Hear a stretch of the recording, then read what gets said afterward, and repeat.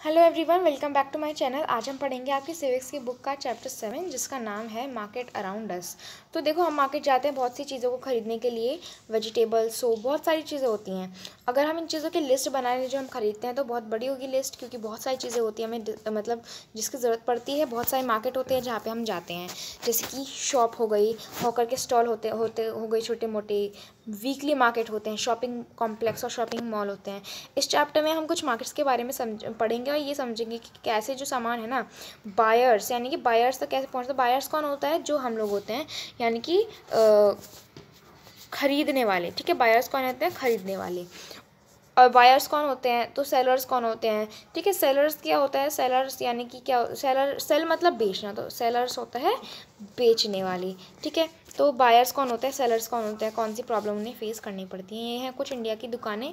यहाँ पे है वीकली मार्केट को मतलब वीकली मार्केट क्या होता है, ठीक है? तो वीकली मार्केट को हम वीकली इसलिए कहते हैं क्योंकि डे के ना, किसी भी वीक के ना, एक स्पेसिफिक डे पे होता है। वीकली मार्केट्स में कोई भी परमानेंट शॉप नहीं होती। ट्रेडर्स अपनी एक दिन के लिए दुकान सेट करते हैं, शाम को बंद करके फिर वो क्या करेंगे? अगले दिन किसी और जगह पर लगाएँगे। बहुत सारे हज़ारों मार्केट ऐसे वीकली मार्केट इंडिया में, लोग अपनी रिक्वायरमेंट को पूरी करने के लिए यहाँ पर आते हैं।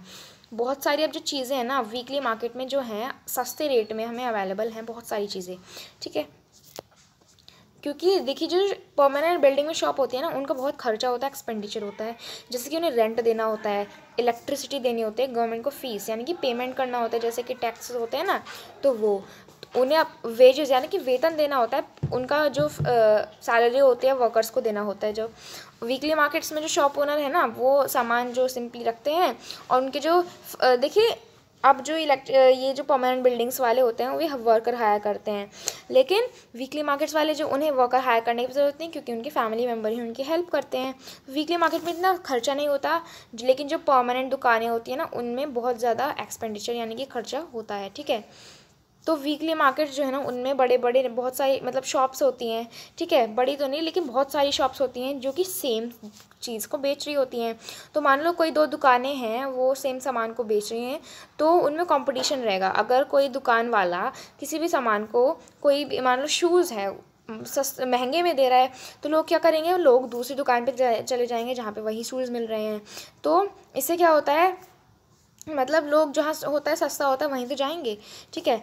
तो जहाँ पर उन्हें प्राइस डाउन दिखेगा। तो वन ऑफ़ द और वीकली मार्केट का एक एडवांटेज है कि ज़्यादा, जो भी चीज़ आपको चाहिए, वो आपको एक ही जगह पे मिल जाती है। चाहे आपको वेजिटेबल ग्रोसरी या क्लॉथ आइटम चाहिए या यूटेंसिल चाहिए, आपको वहीं मिल जाएगा। आपको किसी और जगह पे जाने की ज़रूरत नहीं पड़ेगी अलग अलग चीज़ों को खरीदने के लिए। लोग मार्केट ऐसे मार्केट में जाना पसंद करते हैं प्रीफर करते हैं जहाँ पर उनकी अपनी चॉइस हो और बहुत सारी वेराइटी हो, सामानों की। अब शॉप्स हमारे जो नेबरहुड में होती हैं तो हमने देखा कि वीकली मार्केट जो है ना वो वैरायटी ऑफ़ गुड को ऑफ़र करते हैं। बहुत सारी गुड्स मतलब ऑफ़र करते हैं।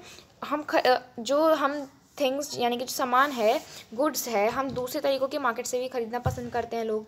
तो बहुत सारी दुकानें होती हैं जो कि गुड्स सेल करती है सर्विसेज़ प्रोवाइड करती है हमारे नेबरहुड में।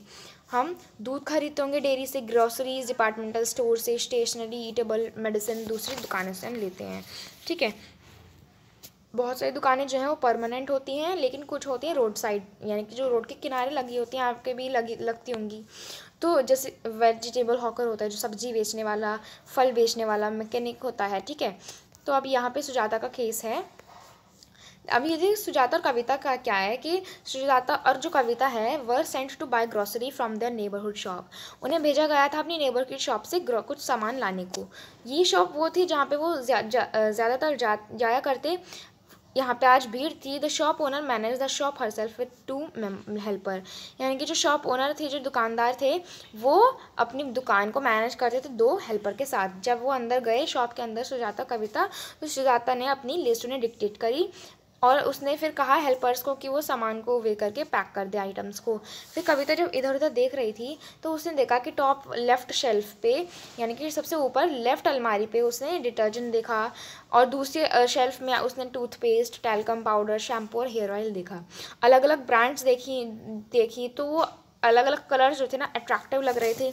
ज़मीन पर कुछ सैक पड़ी थी तो बीस मिनट लग गए उसे वे करने में और पैक करने में। फिर सुजाता ने अपनी नोटबुक दिखाई फिर विमेन ने अमाउंट को आ, मतलब विमेन को मतलब उस औरत ने ना जो वहाँ की ओनर थी तो उसने अपनी नोटबुक में मतलब थ्री थाउज़ेंड रुपीज़ नोट कर लिया अपने बड़े रजिस्टर में भी नोट कर लिए ठीक है? तो फिर सुजाता ने भारी बैग से बाहर लाई फिर जो उसकी फैमिली है, वो अगले महीने पैसे दे देगी। ठीक है? तो इसका मतलब क्या हुआ? देखिए, यहाँ पे है शॉप्स जो होती है ना हमारी नेबरहुड की, वो बहुत यूज़फुल होती हैं अलग अलग तरीक़ों से।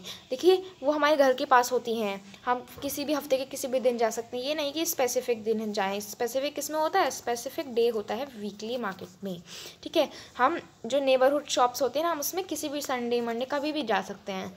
और हमारे घर के पास होती हैं बायर और जो सेलर होते हैं, देखिए जो दुकानदार होते हैं और जो हम लोग होते हैं, हम एक दूसरे को जानते होते हैं, इसलिए हम क्या कर सकते हैं कि वो जो दुकानदार है वो हमें क्रेडिट यानी कि उधार हमें सामान दे सक, दे देता है तो इसका मतलब क्या हुआ जो आप पैसे बाद में दे सकते हो, जैसे कि सुजाता के केस में हमने देखा था, ठीक है?